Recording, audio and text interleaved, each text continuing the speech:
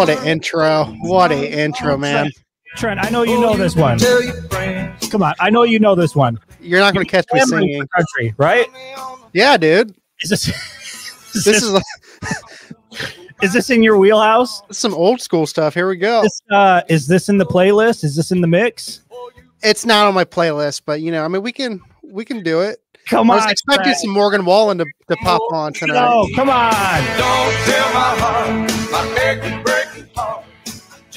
Definitely didn't think I'd ever start out a show with uh, achy breaky heart, but here we are. I mean, it's Thursday. We got Billy Ray Cyrus uh, kicking us off here, and uh, you know, when you talk about achy breaky heart, I feel like I feel like a lot of people. No, CJ, this is the right one. This is the right one. We're just trying to be a little more diverse in how we uh, in how we enter the show here. Uh, you know, our, our good friend Trent is a, a country guy. That's right. grow the mullets. I can't. Actually, I can. I can grow a mullet. There would just be nothing on top. Which does that count in the country community? Is that is that a mullet? What is it when it's just the sides and the back long and you're I mean, I don't know, but I think people would be down for it. a skullet, right? I think it's a skullet. I think. So yeah, we we have we have new music going on. You have a different background going on. Like do, nobody yes. nobody even knows where, what's going on.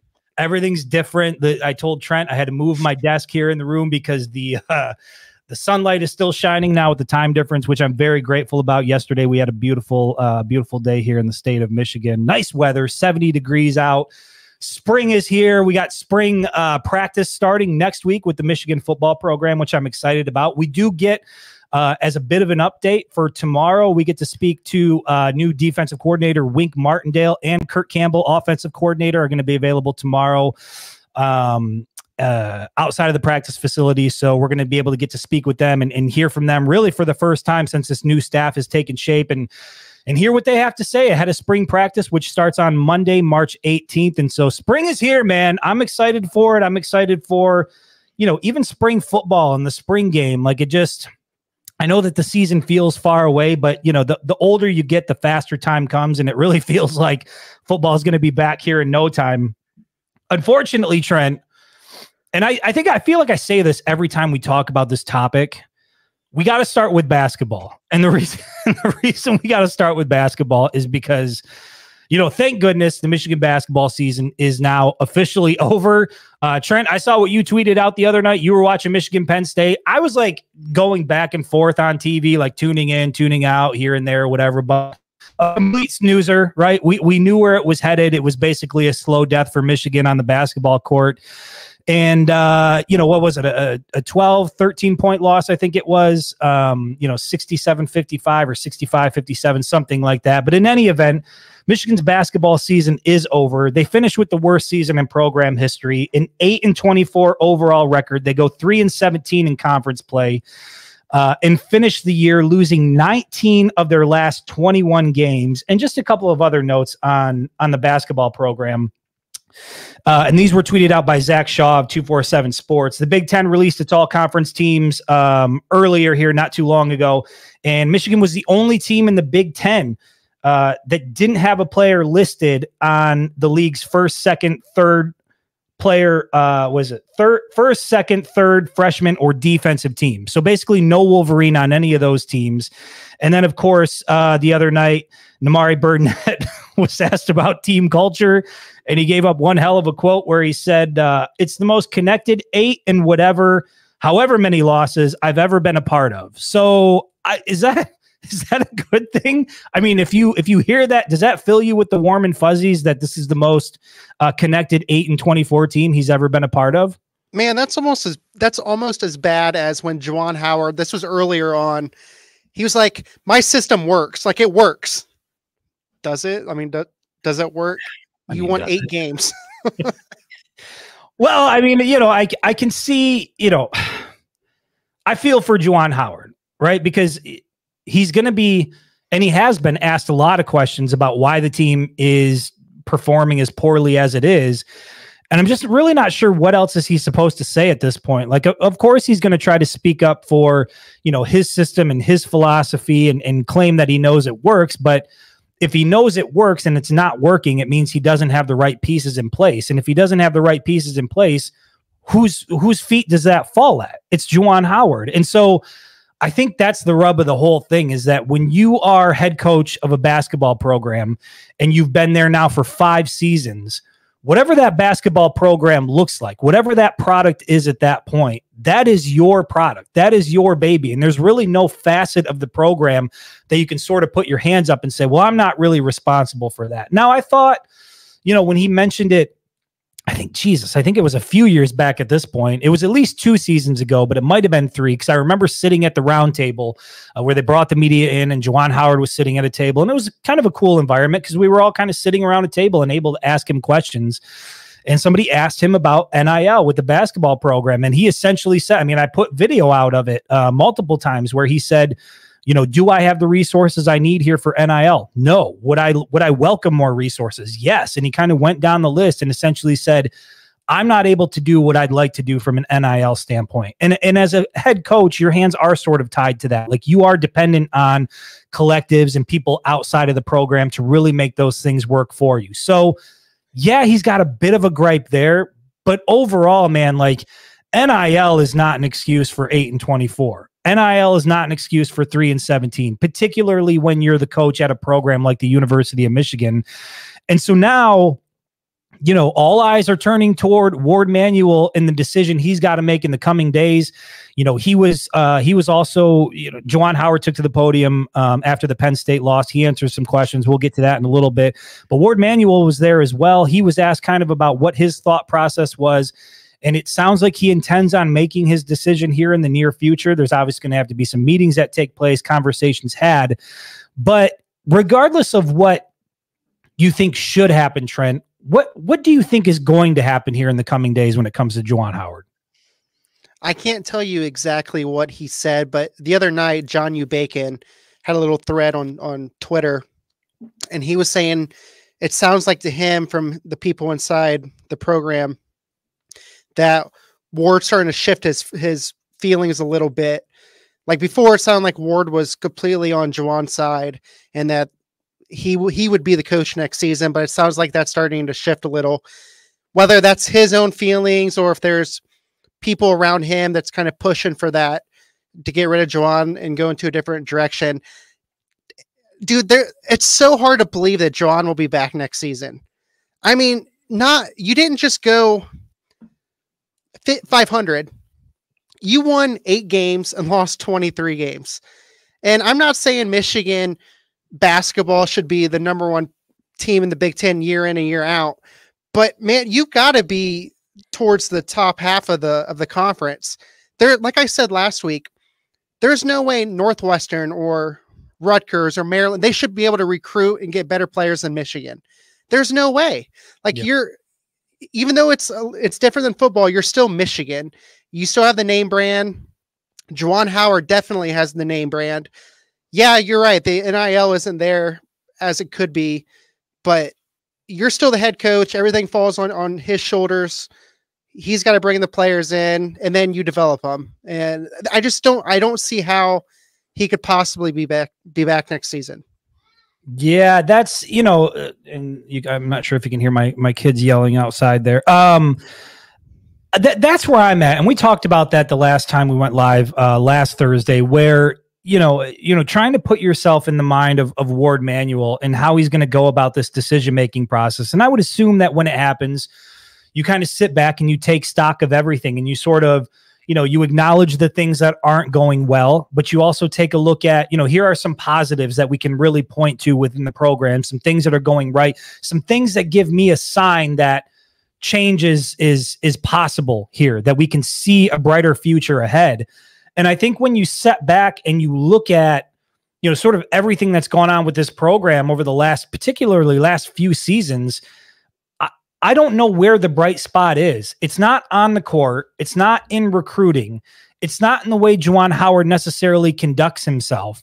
And so when you take all of that into account, I'm with you. I can't imagine a scenario where, and I got to believe that there's also, yeah, it, it, seemed like Warde Manuel was potentially set to maybe give Juwan Howard another year. And I did see the thread you were talking about from John U. Bacon, who is, you know, he, he's a Michigan insider. He's got connections around the program. He's been around for forever.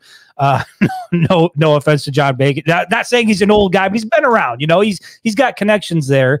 Um, and he essentially said that, yeah, I mean, Warde Manuel is at a place right now where he's w- willing to entertain anything, even moving on from Juwan Howard.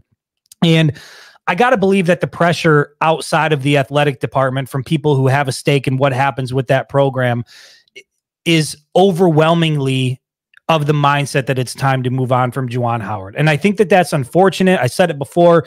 You know, I, I think that he's always going to be somebody who's respected within the community within Ann Arbor for for who he is and, and the part he played as being part of the Fab Five. But at the end of the day, like who he was as part of the Fab Five has nothing to do with what's happening with the program now. And what's happening with the program now is it's in the worst shape that it's ever been in in program history.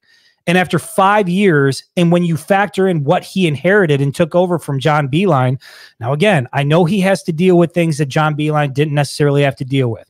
You have NIL, you have the transfer portal, you have, you know, Juwan has been able to sort of get the, you know, get the commitment from some guys who could have made a difference here, but they couldn't get through admissions. And so there's there's a lot of different things going on. But when you stack it all together, what it all amounts to is that Juwan Howard's not getting the job done at Michigan. And I don't know that there's anything you can look at and say, okay, but here's reason to believe he'll turn it around next year. And so that's where I'm at. I think I think Warde Manuel is now in a position where he has the opportunity to do the right thing, which is a difficult thing. It's not an easy thing to do, but I, I think that what's best for the program is to move on with Juwan Howard. Trent, I think you're in the same boat. Yeah, definitely. The, my problem is there's nothing as the season went on that made me think that Michigan was going to turn it around. Like, there's even going back to last year, they struggled. They didn't even make the NCAA tournament. They lose right away in the NIT tournament. They had Hunter Dickinson. I know there were some chemistry issues there. He ended up leaving for for some money and and trying to pursue a championship. I don't know if Hunter Dickinson comes back. I don't even know even know how much better this team actually is. Th- that's a fair point because Hunter Dickinson, for as talented as he was on the court, I wouldn't necessarily consider him a leader in the locker room at all, especially when you factor in some of the antics off the court and the way he sort of, you know, kind of went about his business and had sort of a, a goofy manner about him. But I didn't view him as like a, a team leader. You tell me, Trent, right now, when you look at this roster, who was the leader in the locker room? I mean, you know, Terrence Williams, coaching. Terrence Williams is the leader of that program. Maybe. I don't, I don't know. Yeah, I don't know. Right. And I feel like on good teams, you can usually point to a guy and say, okay, that's a team captain. That's a leader. That's a guy who's going to rally the troops in the locker room and pull everybody together. And uh, th- this Michigan basketball program really didn't have that. And I think that speaks to your point. You know, if if Hunter is there, they're going to probably be at least 500 at least 500 but once again i don't think it's going to be an ncaa tournament team they have no depth and that's been the issue all season is first half usually for the most part they were in the games if not leading. Second half their guys are tired their starters are tired or in foul trouble and they've got nobody coming off the bench to help out. So you just because you add hunter dickinson into the mix or say uh, caleb love came in from from north carolina and he he actually was admitted to play i still don't it doesn't matter. Like I, they just the roster construction of this team was not good and that falls on Juwan Howard. Yeah, I agree. And look, I didn't. I was. I've been debating on whether or not I wanted to bring this up or mention it or just sort of move past it, not give it any oxygen. But I'm going to bring it up, Trent, because I think we really have to ask ourselves how much of the white media is at play here in terms of Juwan Howard's job security. Do you think that the white media is sort of orchestrating this movement against Juwan Howard to get him out? Do you do you think that's what's at the heart of all of this? I think the fact that he went eight and twenty three at Michigan, eight and twenty four, don't short. Eight, sorry, yeah, eight twenty four, and came in dead last in the Big Ten is probably why he's under a little bit of fire. Yeah, I agree, and obviously, I, I say that jokingly. Uh, the reason I bring that up is because for those of you who saw the clip that came out, Juwan Howard during his post game press conference after losing to Penn State there was a reporter in the room, somebody who was granted a credential. And I can't imagine why this individual was given a credential. But here was the question he posed to Juwan Howard. He said, and I quote, there's three black coaches in this conference. And throughout the season, each one of you has been put on the hot seat by the white media. I'm hoping that you survive this because we know black coaches sometimes don't. But can you speak on just the fact that three of you are doing the job that you've been hired to do, representing as coaches? And then it goes on and on and on. And I just, I really took issue with this and the way Juwan Howard handled it or didn't handle it because here you have somebody in the media asking Juwan Howard, who just suffered his 24th loss of the season, has now gone 8 and 24 overall, 3 and 17 in the conference. And we know about all the other stuff. We know about the stuff with Jon Sanderson. We know about the stuff against Wisconsin. We know about the conduct, the way he acted uh, against Maryland. Here you have a reporter essentially saying that it's the white media that is sort of creating this narrative, putting you on the hot seat. And Juwan Howard, and this is in an article. If you want to go and see the video, it's on wingedhelmetmedia.com. I put the article up. I didn't put it on social media because I know how topics like this go on social media. The comment section can be a disaster. But to me, it was worth bringing up because the question, for as terrible as it was, gave Juwan Howard an incredible opportunity to do two things. Number one, he could have come out and flat out said, in no way, shape, or form is racism at, at the heart of why I'm on the hot seat. And number two, it gave him the opportunity to take full ownership of the current state of the program. And instead of doing those two things, he opted to pass on that and talked about, you know, kind of his role with the team and some of the coaches that he looks up to. But I just found that to be a very odd question. And I found it almost equally as odd that Juwan Howard heard it and didn't think enough of it to sort of push back on that and say, wait a minute, wait a minute here. Like the, me being on the hot seat has nothing to do with with the white media. Like I don't even know what that is, but I thought it was a huge missed opportunity. Trent, when when you heard that, I sent you the link and had you listen to the question so that you could hear it for yourself. What what what was your thought? Your initial thoughts? I mean, initially, I'm just like, who is this guy? Not not Juwan, but the reporter. Like does, literally it feels like it, these days anybody can get credential to go to the stuff. You're talking about the big 10 tournament. It's not some exhibition game or a spring practice or something like that. You're talking about the big 10 tournament game and you have a reporter in there asking a question like that taking up time from other actual media reporters that could be asking basketball questions. I mean i don't really have anything to say about what how Juwan handled it I agree with you. He could have handled it a little differently, but like, who is this guy and why is he asking a, asking a question like that? Yeah, like, and what, I, what's he trying to do? And I think that's why, like, and and I said this in the article. It's not uncommon for reporters to ask dumb questions at a press conference. You you hear it all the time, and you see the back and forth. To me, you know, the question was stupid, but what spoke louder to me was Juwan Howard not choosing to take that on at all because regardless of how you feel about the question or whatever, I mean, it is an example of racism. It is somebody throwing out an accusation that really what's at the heart of all of this is basically racist media that doesn't want Juwan Howard to be the head coach at the University of Michigan. And I just found that offensive. Not as a not as a white person, not as somebody in the media. I mean, if I'm Juwan Howard, I take offense to that. You know what I mean? You're essentially calling him a victim of circumstances that are out of his control.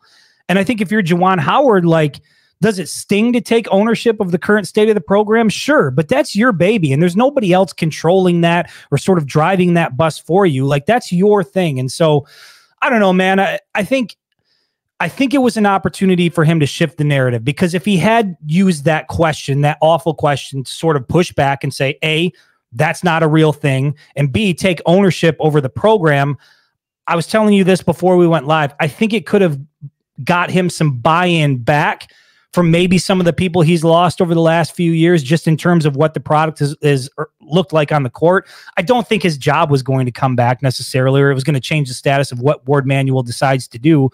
But I just thought it was a ridiculous question, and I thought for Juwan Howard not to give a little bit of pushback on it to me was was offensive for a number of reasons. It stuck out to me, uh, and and again, Trent, it was something that I wanted to bring up here just to get your thoughts on it because I was surprised. I was surprised he didn't give an answer on it, and I think you know, that's a small sliver of an overall picture to me that that just doesn't look very good for Juwan Howard. I think he's sort of in over his head. Obviously, this was his first head coaching position. We all had high hopes for him. We all have love for Juwan Howard, the Fab Five thing, the history with Michigan. We all wanted it to work, but at the end of the day, I'm just I'm not sure that he's ready to be a head coach at this level. And I think what we just saw transpire this season is proof of that. And some of the things we've we've seen happen you know the extracurricular stuff the things in the locker room the the way he's handled his business there i think is also evidence of that. So we'll see. We'll see what uh, what Warde Manuel decides to do. But again, the decision uh, according to Warde Manuel is expected to come in the near future, and the program needs that. If they're going to go in another direction, this is not something that you can really uh, drag your feet on because we know in college athletics today, coaches get snatched up left and right, and you've got to make sure that you're putting your program in the best position to succeed. Uh, moving forward. Any last thoughts on the Michigan basketball program before we transition back to football? I'm kind of going back to what you said that you thought if he would have handled that question a little differently, maybe he would have got some some buyback. Yeah, maybe. I mean, I think people would rather hear, "Hey, I need to do a better job," than. But that's a way to do that, right? Is like it's not some external force; it's me. Like I need to do better. Like yeah. I'm responsible for eight and twenty-four. I'm responsible for three and seventeen. I'm responsible for you know, Mark Turgeon or, or, whoever the hell he ended up slapping. Like I'm responsible for those things. That was why I felt like it was an opportunity to really bring everything back and say, no, this is on me. Like the, the current situation is on me. And I felt like he didn't do that. That's that's why I say it's a missed opportunity. Yeah.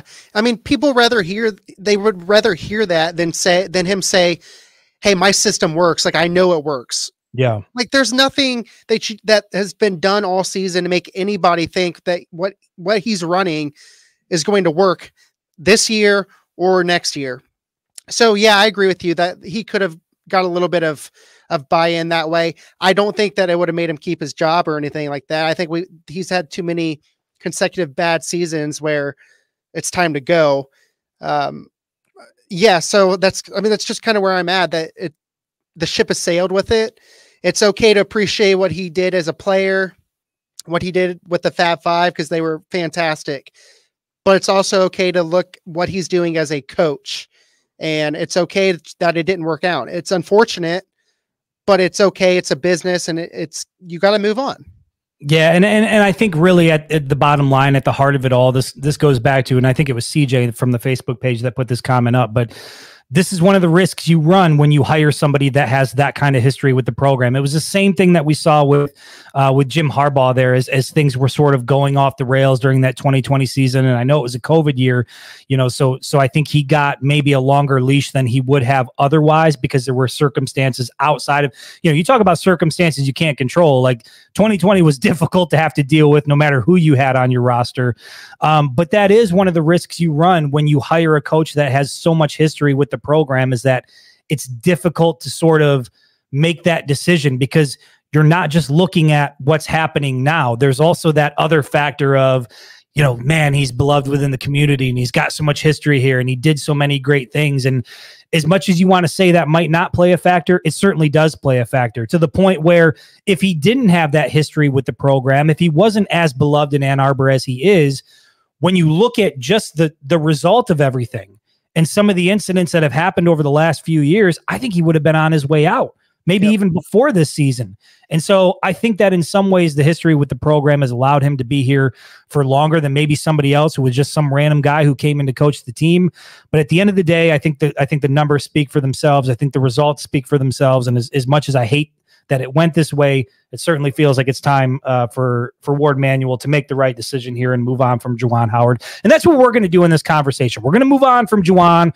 We're going to move on from the basketball program. Once again, almost 25 minutes into the show talking about basketball.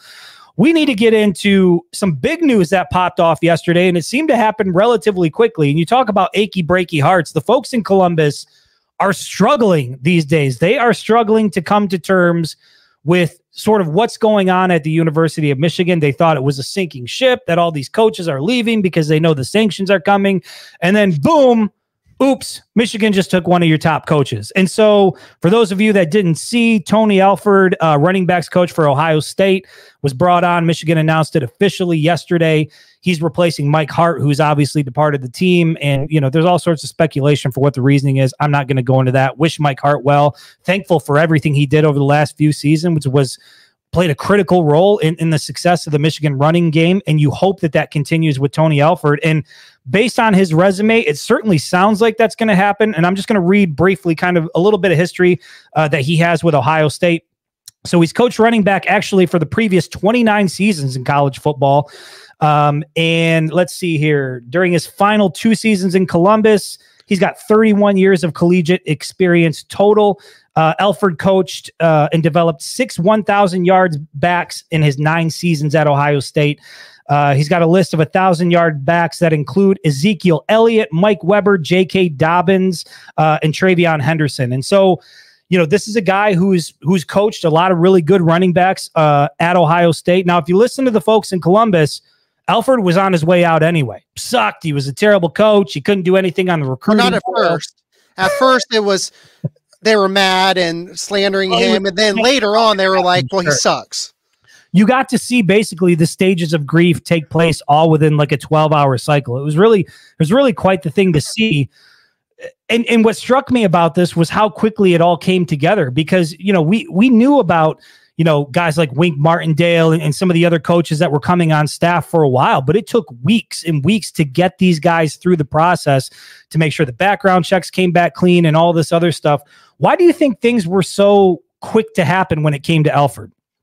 I mean, I believe it took. I, I believe it did take weeks. Mm, mm. Yeah, you what, know. are you, what are you hinting at, Trent? I mean, I don't. I don't really know. I just. I just feel like he's been with the Ohio State program for a, a couple weeks while talking to Michigan.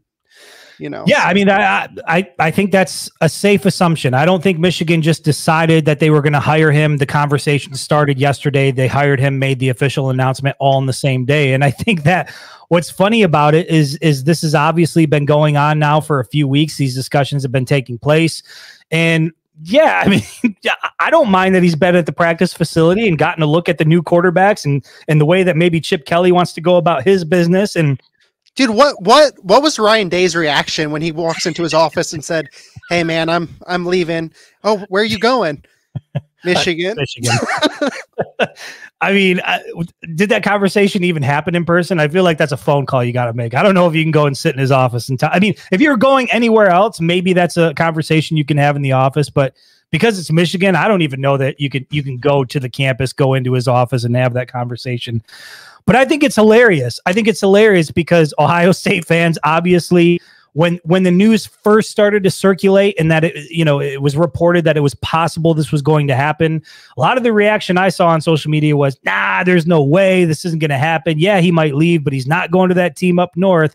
Yada yada yada yada yada. And then hours later it was officially announced that that uh, by the University of Michigan that that he had been hired to be a part of Sherrone Moore's staff, and then you saw the spin from from Ohio State fans where well his contract didn't get renewed anyway or well you know Ohio State's run game wasn't that great anyway or he wasn't that good on the recruiting trail anyway. And it's just interesting to see how Alford went from being like a, a great member of the staff to nah he would never do that to screw that guy because he was terrible anyway in a matter of 12 hours. When you saw the reaction what what were your thoughts Trent? I thought it was funny. I mean, it went from it went from originally when it was announced from I think it was uh, Football Scoop that they they made the sources saying that Tony Alford might leave to go to Michigan.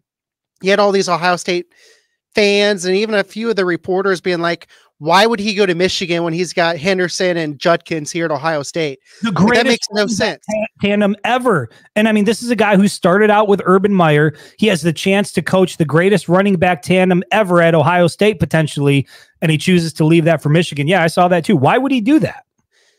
And then and then he he's been there for nine years. He's not going to leave Ohio State. He's not a traitor. He's not a traitor. And then it gets announced like an hour later that he was actually go, was actually going to come to Michigan. And then it's well, this dude's horrible. Our our run game has been terrible with him. He can't recruit. Like, what are you talking about? Like, he's one of the best running back coaches in the and the nation. And even I think most Michigan fans knew that when he was with Ohio State for nine years. It's just it, to me it was it was really funny their reactions about everything. Yeah, I mean, it's the equivalent of when you know you you date a girl for five years and then she leaves you and you're like, well, she was ugly anyway. I was like, well, why the hell were you dating her? You know what I mean? Like, you can't insult that person without also insulting yourself. You can't say that Alford's a terrible coach, terrible recruiter without also saying like, so why do you? Why, so you're saying Ryan Day is is uh, inept at his job? He's keeping around terrible people on staff, which could be the case, but that's not the sense I got when Michigan made the announcement, and especially when you heard the things that Sherrone Moore had to say. And sure, I, I, I'm sure there were things with Chip Kelly coming in to run the offense, and maybe the two weren't seeing eye to eye and, and and some of these other things. But at the end of the day, I mean, look, this isn't something that we've never seen before. Like Michigan fans were on the other side of this when we saw Greg Mattison now Washington. Uh, who was it? Uh, Joey Joey Velazquez. Yeah, he just went. Yep. just transferred. You know, was was- spent several years as a Michigan Wolverine. He's he's a native of Columbus, from Ohio originally. So you know, went in the transfer portal, and now he's going to be playing for the Buckeyes. And so we've sort of been on the wrong side of this uh, a handful of times, but it was interesting to see things trend this way. And overall, look, I think that this speaks to. I think, and again, we'll have to see what the results are on the field. But to me, this is further evidence that Sherrone Moore is equipped to do this job. And I think he has done a hell of a job. When you go back to, you know, ever since J- Jim Harbaugh announced that he was leaving and everything that came along with that, once Sherrone Moore took over, all the coaches that now he had to look to replace. And these weren't just random guys on the staff. These were key members of the staff that really helped turn this program around. Sherrone Moore was tasked with essentially rebuilding an entire defensive staff and then parts of the offensive staff. And I think he's done a phenomenal job in that capacity. So we'll see what it translates to on the field. But in terms of the job he's done so far with what he's had and the time he's had to do it, I think Sherrone Moore has done an incredible job. What are your thoughts on the job that he's had to do given all the circumstances around him? fantastic. I, I know I always kind of go back to the recruiting side of things, but once again, I mean, Mike, okay, Mike Hart was a really good coach for Michigan. I mean, arguably one of the better developers probably out there, but he wasn't, he wasn't a great recruiter. Not that he wouldn't go out and get guys like Jordan Marshall, he went out and got, but Alford, I believe, is going to be probably three or four times better than what Mike Hart was, if not more. Yeah. This guy, he's going to go out there and he's really going to recruit.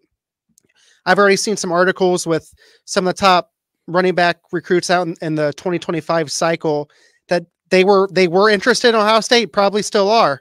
But now that Michigan landed Alford, Michigan's going to be pretty high on their radar now as well. And I just I think that's what Sherrone Moore did.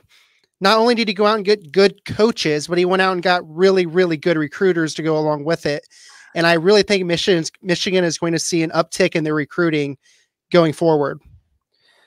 Yeah, I, I absolutely love it. I, I mean, I think it's good for recruiting. I think that, you know, guys like Donovan Edwards and Jordan Marshall and Cole Cabana and Benjamin Hall, I mean, I think these guys are going to be excited for it. I think that it also is like, I think it's great for the rivalry. Like, if you look at the banter, now some of it can turn toxic and, and not be great. But I think overall, like, this is why, you know, when you look at how people reacted, not just local media, but national media. You know, there, there were members, you know, former players and, you know, uh, uh, alums of Ohio State and Michigan chiming in as well. Like, this was a move that resonated with a lot of people. And I think it's because, you know, the Michigan Ohio State rivalry is as great as it is. And again, going back to Sherrone Moore and the job he's done, like he's 1 0 versus Ryan Day, and then he just went into Columbus and took one of your coaches. And so I think Sherrone Moore is basically putting his foot down and saying, like, if you think there's going to be a fall off in Ann Arbor here, like, okay, you can think that, and then we'll, we'll settle it at the end of November.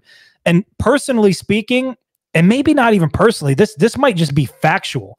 I think all of the pressure is on Ryan Day and Ohio State Oh, it is. when it comes to that match matchup in November. You, when you look at Michigan, not only who they lost from a coaching standpoint, you lose your head coach, you lose your DC, you lose guys like uh, your defensive line coach, strength and conditioning. I mean, go down the list. Michigan lost critical pieces on their staff. Then they lost 18 guys to the NFL draft. And the general belief out there is that Michigan's about to fall off a cliff. And oh, by the way, sanctions are coming from the NCAA. The hammer is going to drop. We don't know when it's going to happen, but Death the, penalty, they're done. Blah, the blah, blah, Michigan football program is about to fall off a cliff. And here's Ohio State having the best offseason, uh, you know, known to man, and they're about to go on a championship run. And that's sort of been the, you know, the outlook on the two programs from thousand foot view. I think Ryan Day, if he doesn't get the job done against Michigan in his own building this season, I, I just the same with Juwan. I can't imagine a scenario where Ryan Day survives that. Do you do you think it's a win or go home situation for Ryan Day this November? Yeah, I've, I've been saying that for for a while now, especially especially after them winning the offseason. I mean, they went out and they landed some key guys from the transfer portal, and I mean, they are loaded. I don't think anybody cannot admit that Ohio State is absolutely loaded going. Haven't into, they always been? Yeah, yeah, probably, but it, it feels differently now. It feels different. They won the Well, offseason. it feels differently because Jim Harbaugh's gone and Michigan lost as much as they did. But I, I think Ohio State. I, I don't know that they're significantly better now than they were last year or the year before that. I mean, they they certainly did well in the transfer portal. They brought in some some good guys, but I don't know I, how much can you gather from what you see videos online or what. I don't see quarterbacks really lighting it up. I see some guys that look like they're built like they're you know NFL vets. You know, have been in the league for you know for ten plus years. From the you know, videos I saw, the receivers looked good. yeah, I mean, I, you know, they have some talent there, but I think Ohio State has always had talent. I think the biggest differentiator over the last three years, in particular, has been the mental toughness and the physical toughness of the Michigan Wolverines, and that they're bringing the fight to Ohio State. And I think it's a dangerous combination now that Michigan believes they can do this because they've done it, and now you have sort of a shift in philosophy, a shift in mentality, and Michigan's going to go into Columbus this November with all the belief in the world that they can get the job done again. And I think Ryan Day is going to feel the pressure. I think they're going to talk themselves up. I think Ohio State's going to have a, a great season. They might be undefeated going into that game. But make no mistake, when when they go to bed the night, the eve of the game, there's going to be way more pressure on Ohio State's side for what they need to do the next day than there's going to be on Michigan's side. Just And Ryan Day knows it. Like he knows that he has all the pressure on, on him, and which is why he probably went out and made these big moves. If he loses to Michigan, you lose you yeah, you lose that next game. I don't care if that's their only loss. Like you can't at Ohio State, you can't do that. And especially after all the success they had against Michigan, and you go lose, you drop another one in a row, he's gone. There's I I, I fully believe it. He's gone. And then when you throw Connor Stalions is still in the mix, don't I don't buy for a second that he's not still operating covertly somewhere out. Look, a guy that motivated, a guy with a manifesto doesn't just stop doing the work that he's doing. I believe as long as we've got Connor Stalions out there, we're going to be just fine uh, here. Here at Michigan, so yeah, I'm very, very excited about the the hire from Alford, and and you know, if nothing else, it gave us an entire day to dunk on Ohio State. And again, their their whole stance has been Michigan is a sinking ship you know, the coaches are leaving because they know the NCAA is coming and everything is about to happen. And then, oh, by the way, one of your top coaches just decided to leave to go to Yeah, Michigan. Yeah, but dude, he, So- he's not any good. He doesn't matter. he sucks. He's terrible, and they didn't renew Can't his contract, so they didn't want him anyway. So, good riddance. I think it's a it's a win win for everybody on that front. Um, let's shift a little bit and talk about the Michigan defense because we did get word recently that Quinten Johnson, veteran defensive back, uh, it looked like he was off to the NFL draft and and sort of you know flirted with that a little bit. Decided to come back for a sixth year at Michigan, which I think is a huge addition to the Michigan secondary. Obviously, had a big play against Ohio State um, in the game last season. Uh, and I think that, you know, for as much shit as we give Michigan NIL, it does seem like NIL played at least somewhat of a factor in bringing Quinten Johnson back because he, you know, you saw a picture come out of him standing in front of a Mercedes Benz and, and you know those types of things. And so that's that's always a good thing when you can do that to keep talent uh, in house. And again, we didn't have to lure him out of the portal with a Mercedes Benz. I mean, this is a guy who's been on the roster. He's been in, at Michigan for five seasons now, coming back for his sixth year. And I think that, you know, for him, I think he battled through an injury late in the season and wants to get himself right. And I think that Quinten Johnson is a guy who, you know, I remember him as a recruit. Like he was built like a grown ass man as a high schooler. And I thought he was going to be incredible at the University of Michigan. His career really hasn't gone that way where he's been that guy necessarily, but I think he can become that. And I, especially as a veteran guy on a relatively young roster next season. So happy to see him come back. But as I was exploring it and thinking about it and what it meant defensively, Trent, look, I know there's a lot of people out there that that thought because of everything Michigan, you lose a guy like Mike Sainristil, you lose Kris Jenkins, you lose Jaylen Harrell, you lose Braiden McGregor, you lo- you lose some significant pieces defensively.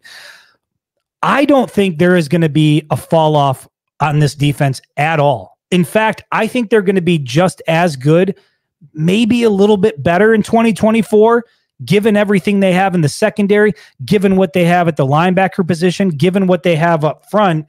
Trent, am, I just a homer in feeling that way? Is that just my bias kicking in? Or do you think this defense is going to be a major, major problem in 2024? Yeah, I think that they're going to be, I think they're going to be just fine. Uh, uh, getting getting Quinten Johnson back kind of lessens the sting a little bit of Keon Sabb leaving. It does. I kind of feel like his 2023 year, he kind of came out of nowhere. You kind of heard his name thrown around a little bit uh, throughout the last few years, but he really came into his own this past year. And now you're not asking him to come in and start.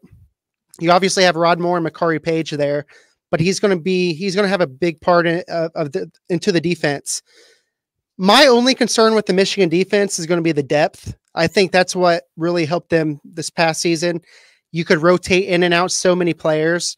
Not saying they can't do it this year, but there's going to be a little more little more question marks heading into the season now especially like at, at linebacker. We know that they've got two good starters, two good starting linebackers now, but who's going to be that third, fourth guy? Last year you had that. Just like on the defensive line, you know your four starters are going to be really, really, really good. What exactly do you have coming in after them? So th- that's going to be my only question mark heading into the 2024 season is will their depth be as good as it was this year?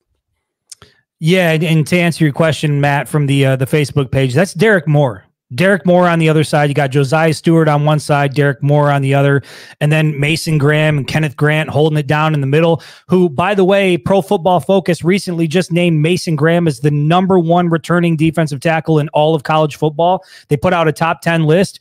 Guess who else was on that list? At number six, Kenneth Grant. And honestly, I think they may have uh, undervalued Kenneth Grant a little bit because he is an absolute menace in the middle. These two guys are going to be a problem. So up front, you've got KG, Mason Graham. On the edge, you've got Josaiah Stewart. On the other edge, you've got Derrick Moore.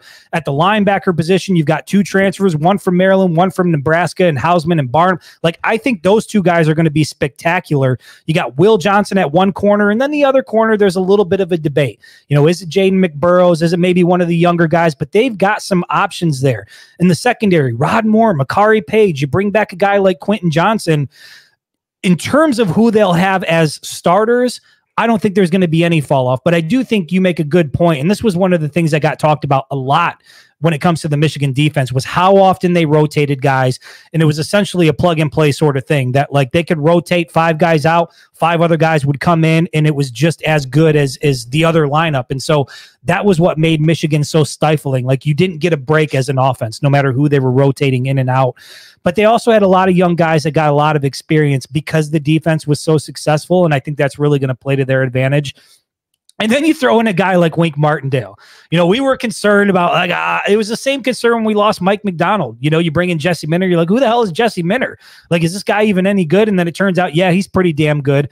Well, Wink Martindale, there might have been some question about him, but he is the self-proclaimed OG of the the defensive system that has made Michigan so successful uh, by his own admission. I mean, this is the guy who's part of that coaching tree, who's sort of, you know, is one of the minds that helped create this defensive philosophy, and he's going to continue a lot of what has already been built at the University of Michigan uh, prior to him getting there. And so, when you look at it top to bottom, man, I think defensively, this is a top five defensive unit in college football. And I think when you, anytime you have a, a defensive unit that is that good, I think it gives your your program a fighting chance to be in the mix for a conference championship at the end of the season. We'll see what happens offensively, but I mean, we talked a little bit about that too, Trent. I mean, we can even shift our focus a little bit offensively.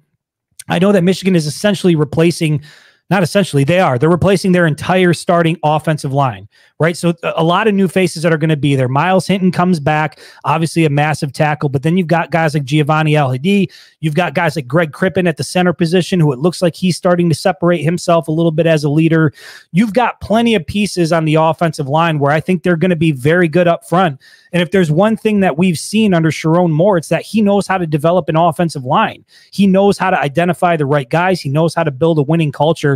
So I don't have any issue with the offensive line at tight end. I think they're good with Colston Loveland and Marlon Klein, guys like that. I think they're going to be fine there. At the wide receiver position, they don't really have necessarily a Cornelius Johnson type guy who can go up and maybe high point the ball. We didn't see Cornelius do that very often anyway, but they've got a lot of intriguing options with Semaj Morgan and Carmelo English. And I've heard Fredrick Moore is a guy to keep your eye on. He's a guy that seems to be, I think it was Roman Wilson somebody asked Roman Wilson at uh, at the combine, who's a guy that we should keep our eye on in the wide receiver room, and his answer was Fredrick Moore. And then of course Tyler Morris, who made a big play in the Rose Bowl that helped get Michigan over the hump. And so they've got a collection of wide receivers that can do a lot of damage. Again, good at the tight end spot, and then we know they've got at running back. You got Donovan Edwards coming back. You got Benjamin Hall, who looks like he's going to be a pretty good uh, running back in the future. Cole Cabana. You've got options there. Kalel Mullings who's essentially a tank coming out of the backfield. They can rotate guys there. Offensively, I don't really see a huge issue outside of quarterback position, right? Which is it's a big deal. You know, you got to get that figured out. We talked about that a little bit before we went live. When when you look at, we obviously feel very confident defensively where this team is is at. Offensively, what's your confidence level given what they have and, and what things look like right now? It's it's getting it's getting higher, but it's obviously not going to be nearly as high as the defense. Going back to the defense just real quick, they're loaded with star star players. They are loaded, which is going to what which is going to make them arguably a top 5 defense, if not possibly the best defense out there because they got so many guys. Going back to the offense, you need you need Donovan Edwards. You need him to go back to like the 2022 form of Donovan Edwards or even the national title game, Donovan Edwards. He's going to have to carry the ball a ton more. He's going to get his his time to shine as a lead back. Receivers, I feel like they're going to make some sort of a move in the transfer portal. They need that. They need that taller guy who who you can just throw a ball to. He can go up there and grab it. They got so many gadget type slot receivers. I just don't feel like they have that boundary guy yet, which is where I think they could go make a move. Uh, tight end, yeah, I agree with you. You got Colston Loveland, who is probably the best tight end in, in America. So you got him returning with plenty of tight ends that they don't have a ton of experience, but they were big time recruits that they should be fine. Offensive line, yeah, you're replacing everybody, but you've got a lot of guys there who who's hung around. They've got experience. They've even they even have game experience. So offensive line, I'm not really worried about, even though you're going to see a lot of new names in there. They went out and got that uh, Northwestern guy. Is it Preeb or? Yeah, Josh Preeb or Preeby. Yeah. I, don't, I don't know how you say his last name, but he's a veteran. I think he was a yeah. captain of Northwestern. So he was an All Big Ten player. So yeah. you you go and you bring him in. He obviously will insert into the starting lineup. Then you got your quarterback, which is in today's today's day and age, probably the biggest position in, in football. Maybe, maybe not Michigan football, but in football in general, you got to have a quarterback. And as if they can just get one of these guys to be a Jake Rudock type at the very minimum, I think they would be perfect. They'll be perfectly fine. They just got to get adequate quarterback play. As long as their run game continues to to live up to what it's been, I think I feel like their offense will be fine. I mean, I, I think we both agree that it's going to be either Alex Orji or Jaden Denegal more than likely. And as long as as long as one of those guys can do at the bare minimum bare minimum of what Jake Rudock could do, I really think their offense will be fine. See, I feel like I feel like there is a Jake Rudock on this roster right now, and I feel like it's Jack, I think it's Jack Tuttle. I feel like he's that guy, and that's not to shortchange either one of them. But to me, the, the games are, you know, I think maybe Jack Tuttle's got a little more mobility than, than we got out of Jake Rudock. But generally speaking, in terms of being safe with the ball, being the safe option, like, you know, maybe somebody who's not going to, you know, be turnover prone. Like I think that's probably Jack Tuttle right now. But even though the the other two options in Denegal and Orji are are mostly unproven, almost completely unproven, I think that the potential is higher, the ceiling is higher with those two guys. But that's that's the unfortunate part of where we're at right now is that when you look at it, the team offensively and defensively, almost every single piece is in place. And yeah, there's some question about depth and how they're going to rotate guys and how are things going to look. But generally speaking, I like the options that Michigan has. The quarterback position is where I'm a little bit concerned. But Trent, I think you made this point, and I agree with it that you know, Michigan's offense, at least the way it's been for, you know, the last what, nine years under Jim Harbaugh, hasn't really largely depended on phenomenal quarterback play to be successful. Now, you know, we were lucky and fortunate to have a guy like JJ McCarthy, who is, you know, arguably most likely the greatest quarterback in Michigan football history not just for what he was able to do from a skill set standpoint, but the, the, total package you get with JJ. He was just an elite guy, elite player, in, in, in every sense of the word, in any way you want to look at it. But in some ways, the good news is that the Michigan offense, if it looks similar to what it's looked like under Jim Harbaugh, and there's no indication that it won't, there's no real expectation that it's going to change and all of a sudden become an offense where the quarterback is asked to do way more than what we've seen previously. And I think that that's where maybe there's not so much pressure on an Alex Orji because he can come in and run that sort of option play. He can throw it in the flat. He can throw, you know, the short routes or whatever. Doesn't necessarily have to make big time plays with his arms because that's not how Michigan typically does things offensively. How much do you give credibility to that idea that Michigan can sustain with what they have, even though they're largely unknowns. We got to believe they're good enough to play at this level. Otherwise, why the hell are they at the University of Michigan? I think we can safely assume, even though the sample size is almost non existent, they're good quarterbacks, right? The question is, what are they going to do in live action? But how much do you think that the Michigan offense, if it looks the way it has looked under Jim Harbaugh, does that take your concern down a little bit in terms of finding a guy like a replacement like a JJ McCarthy, which is nearly impossible? Yeah, I mean, obviously these guys were recruited by Michigan. They were mostly high three star, low four star guys. I mean, they obviously they're there for a reason, and I, I feel like that Michigan will they they brought them there so they think that they will get good play from them. So yeah, I I mean I believe once they get their chances that they will be they'll be fine.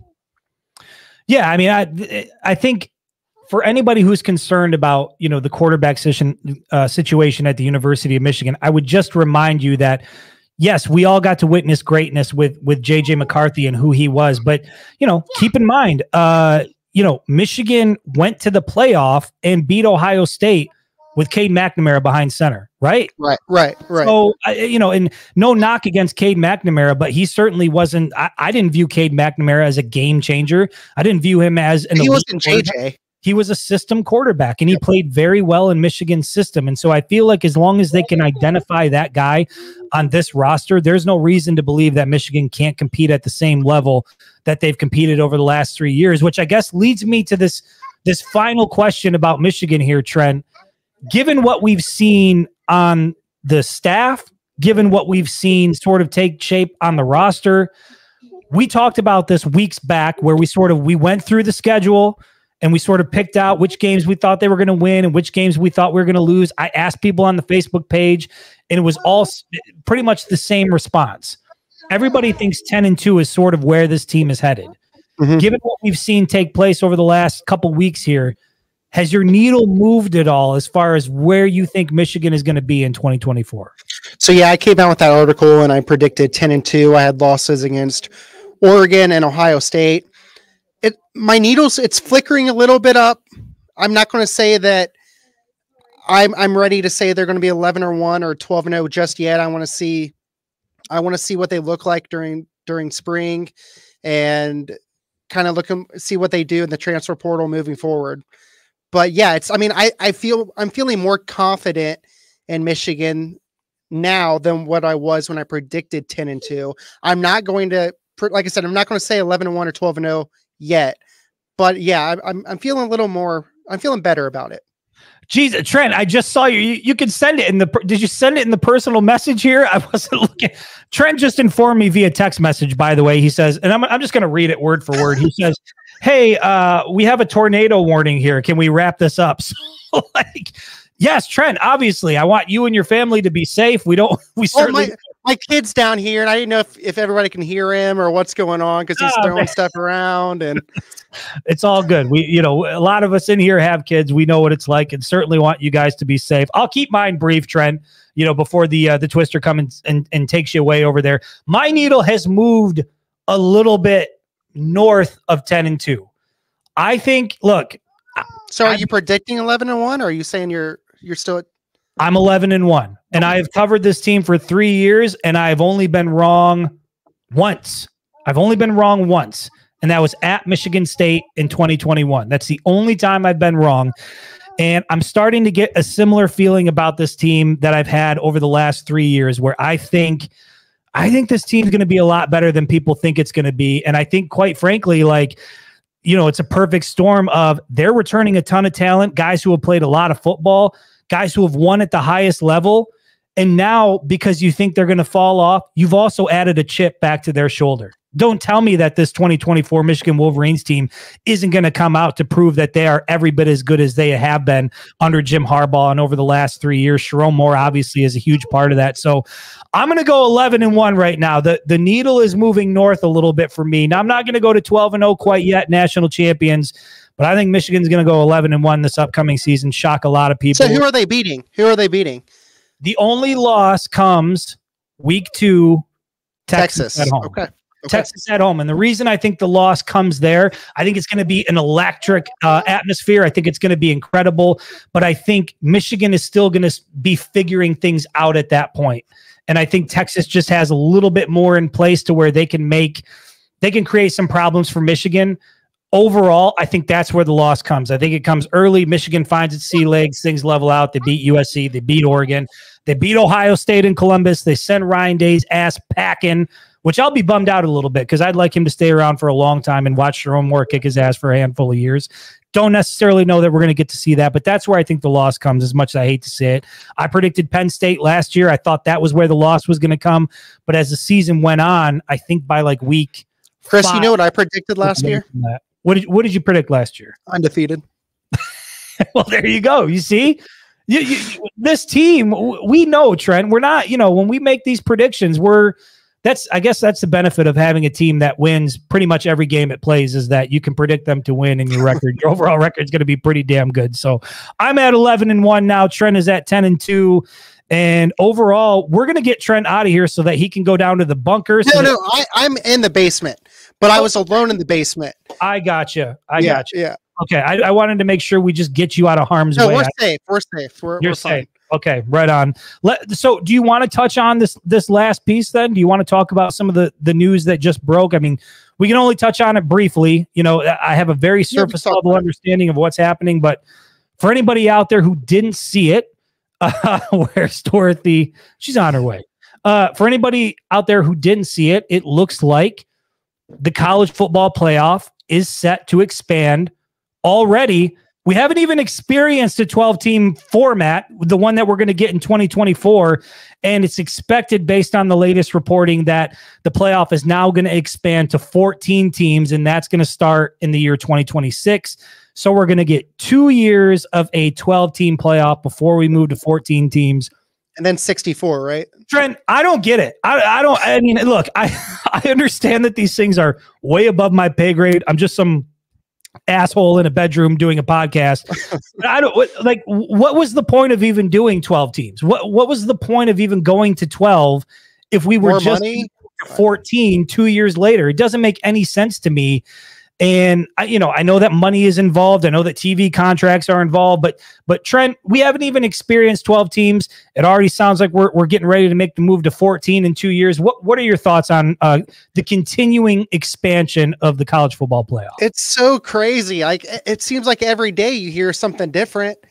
And and yeah, it seemed like it was trending towards that 14 team for a little while. I to me, it was kind of hard to believe it was actually going to pass already.